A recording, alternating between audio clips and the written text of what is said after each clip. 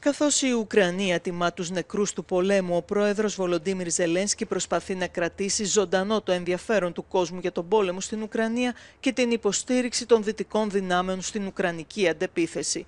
Περπατώντας από το γραφείο του στο Κίεβο προς μια τελετή για την ημέρα των ενόπλων δυνάμεων, έστειλε μήνυμα στον Ουκρανικό λαό ότι τα κατεχόμενα εδάφη θα απελευθερωθούν.